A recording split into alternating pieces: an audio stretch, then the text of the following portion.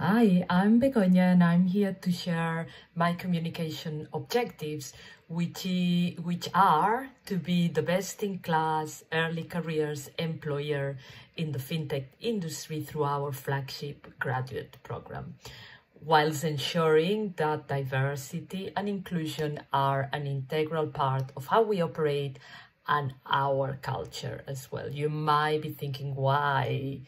Well, as you know, the company purpose is we accelerate progress in the world. And this means a lot to me at individual level because my purpose is to make a positive impact through my commitment to nurture and support this next generation and also create an environment where different values, backgrounds and perspectives are taken into account. Um, how are we going to achieve this objective? I will be proactively engaging or teaming with multiple stakeholders like yourselves, finance, senior leadership, hiring managers, managers and employees of the teams where the graduates are placed at the end of the program, etc., etc. The list is long.